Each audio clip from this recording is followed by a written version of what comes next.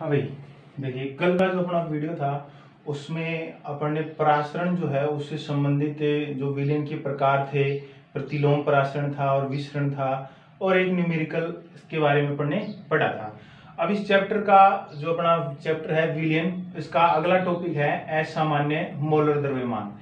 असामान्य मोलर द्रव्यमान तो मोलर द्रव्यमान का मतलब तो आप जानते हैं, क्या है?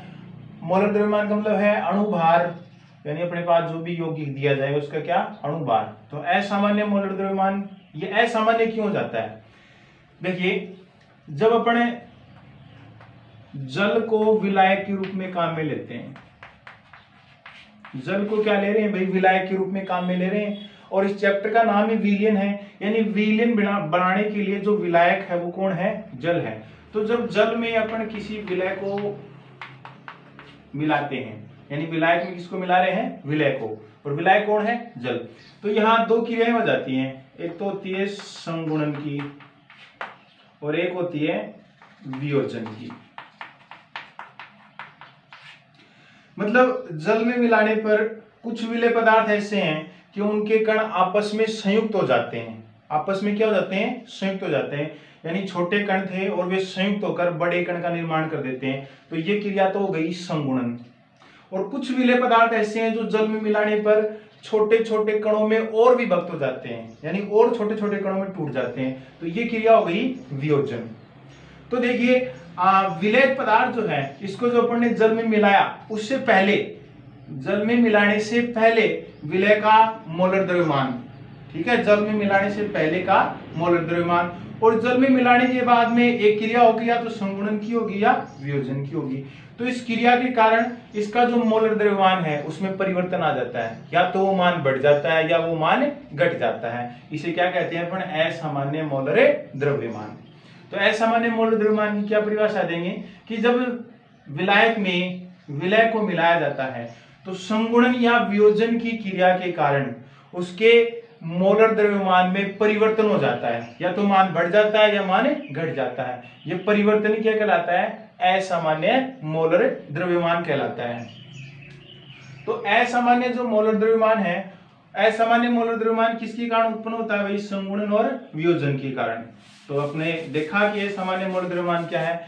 तो ये जो संगुणन और वियोजन है इसको अपन कैसे पता लगाएँ कि किस विलय में संगुणन हो रहा है, किसमें वियोजन हो रहा है? तो इसको पता लगाने के लिए अपन प्रयोग करते हैं वान हाफ़ गुणांक का। किसका प्रयोग करते हैं भाई? वान हाफ़ गुणांक का। तो वैज्ञानिक था वान हाफ़ जिसने 1880 में 1880 में वान हाफ़ गुणांक, जिसे आई से प्रदर्शित करते हैं, इसका प्रतिपादन किया।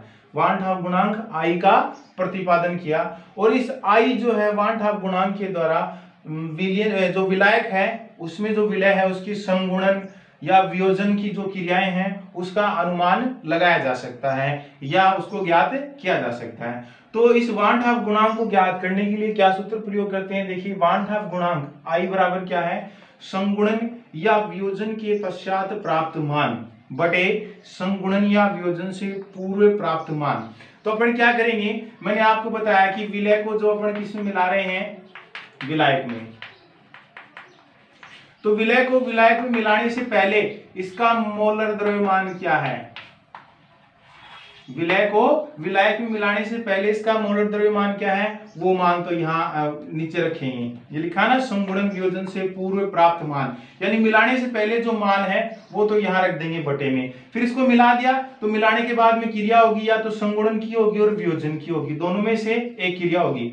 तो इस क्रिया से क्या मान प्राप्त होता है? यानी इस क्रिया से इसके मोल द्रव्यमान में क्या परिवर्तन आता है? वो परिवर्तन लिखेंगे यहाँ। तो इसका जो समा, जो इसका प्रारंभिक मोलर द्रव्यमान था, वो और संगुणन और वियोजन के पश्चात प्राप्त मोलर द्रव्यमान। इन दोनों के अनुपात को क्या कहेंगे अपने? वान ठाक गुणांक कहेंगे। या ये कह दें कि वान ठाक गुणांक आई बराबर प्रेक्षित मान बटे सैद्धांतिक मान। तो यहाँ प्रेक्षित मान से मतलब क्या है? कि विलय को जो विलय में मिला देते हैं तो संगुणन वियोजन के कारण जो परिवर्तन होता है, वो मान तो कहलाते हैं प्रेक्षित मान। और वियोजन और संगुणन से पहले के जो मान है, वास्तविक मान, वो कहलाते हैं सैद्धांतिक मान। तो ये वान ठाप गुणांक आई को ज्ञात करने का सूत्र हो गया, आई बराबर प्रेक्षित मान बटे सैद्धांतिक मान। अब देखिए, अपन ने जो अणुसंख्य गुण धर्म पढ़े थे, चार प्रकार के, उन अणुसंख्य गुण गुणधर्मों से और वान हाफ़ गुणांक आई जो है, वो किस प्रकार से संबंध रखता है? पहला देखिए, अपन देखते हैं यहाँ। पहला जो अपना पहला अणुसंख्य गुणधर्म परासरण दाब इसके लिए अपने पास फॉर्मूला था पाई बराबर सी आर टी क्या था? पाई बराबर सी आर टी तो यहाँ जो है पाई बराबर I C R T one half गुणांक ये संबंध रखता है कि ये जो अपने पास प्राशन दाब का फॉर्मूला था, उसको किससे गुणा कर देते हैं? वन हाफ़ गुणांक आई से गुणा कर देते हैं। इससे क्या होगा कि जो असामान्य मोलर द्रव्यमान है, उनका अपने को अनुमान हो जाएगा या उसको अपने ज्ञात कर सकते हैं।